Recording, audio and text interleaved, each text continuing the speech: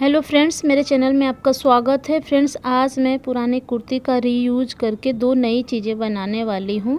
तो सबसे पहले हमें नीचे की साइड से यहाँ पे 16 इंच पे मार्क करना है। और इसी तरीके से हमें ऊपर तक करना है, ताकि ये बिल्कुल स्ट्रेट यहाँ पे हमें एक पीस मिल जाए। तो इस तरीके से हम पूरे पे कर लेंगे, उसके बाद एक स्केल की मदद से हम इसे सीधा ड्रॉ कर लेंगे। ड्रॉ करने के बाद हम इसे कट कर लेंगे। तो ये देखिए, इस तरीके से जो एक्स्ट्रा ऊपर का पीस है, वो निकल जाएगा। अब हमें देखिए, इस तरीके से सीधा कर लेना है। उसके बाद जो साइड में यहाँ पे थोड़ा सा स्ट्रेट नहीं है तो हम इस तरीके से लाइन ड्रॉ करके पहले स्ट्रेट कर लेंगे। उसके बाद फिर से यहाँ पे हम 16 इंच पे मार्क करेंगे और इसी तरीके से हम नीचे भी करते जाएँगे। तो इसका चौड़ाई हमारा 16 इंच का मिल जाएगा, इसीलिए मैं ऐसा कर रही हूँ। तो ऐसे हम ड्रॉ कर लेंगे, उसके बाद इसे भी हम सीधी लाइन इस तरीके से कर लेंगे, उसके बाद हम इसे कट कर लेंगे। तो इसे हमें कट करके जो एक्स्ट्रा है साइड से निकाल देना है, इसी तरीके से देखिए यहाँ का भी एक्स्ट्रा वाला पार्ट हमें निकाल देना है।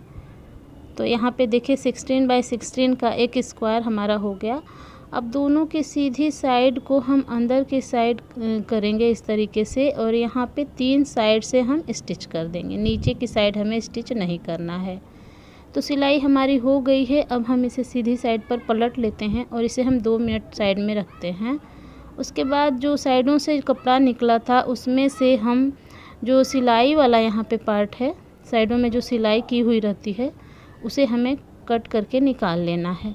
तो यहाँ पे हमें स्टिच नहीं करना पड़ेगा, इसीलिए मैं ये ट्रिक लगा रही हूँ। तो देखिए सिलाई वाला हम इस तरीके से कट कर लेंगे और इसे टू पार्ट में डिवाइड करेंगे, यहाँ पे कट करके। हमें इतना ही लंबाई चाहिए, लगभग फाइव इंच जितना है ये। तो इसी तरीके से दूसरे पीस में से भी हम कट करके निकाल लेंगे और इसे हमें ऐड करना है यहाँ पे। तो देखिए, इस तरीके से हमें नीचे ऐड करना है और एक को हम इसके ऊपर ऐड करेंगे और दोनों को रख कर हम स्टिच कर देंगे बिल्कुल सामने सामने इसी तरीके से हम दूसरे साइड भी कर लेंगे और साइडों से हमें लगभग फोर इंच जितना जगह छोड़ के करना है ये। तो देखिए, इसे हमने स्टिच कर लिया है। अब हमने यहाँ पे इसके अंदर कुशन ऐड करना है तो इस तरीके से हम कुशन को इसके अंदर कर देंगे। यहाँ पे मैं शॉपिंग बैग का कुशन बनाई हूँ, उसी को कर रही हूँ। अगर आपने इसकी वीडियो नहीं देखी तो उसका लिंक मैं डिस्क्रिप्शन बॉक्स में दे दूँगी कि शॉपिंग बैग से हम कैसे कुशन बनाते हैं। तो यहाँ पे इसे हम बाँध लेंगे तो देखिए हमारा प्यारा सा कुशन कवर रेडी हो चुका है। बिल्कुल प्यारा, एकदम ट्रेडिशनल कुशन कवर लग रहा है।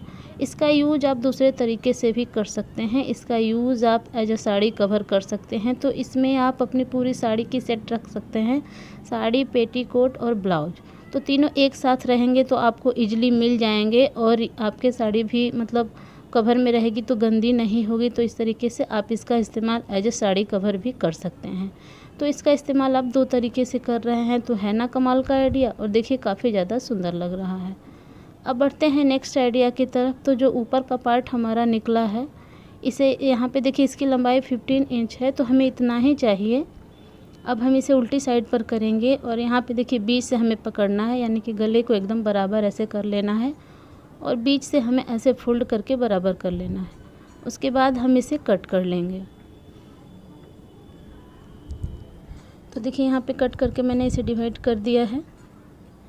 अब हमें लेनी है दो पट्टी, यानी कि बढ़ती पट्टी और एक साइड की पट्टी जो हमारी हुक और काज के लिए बनती है।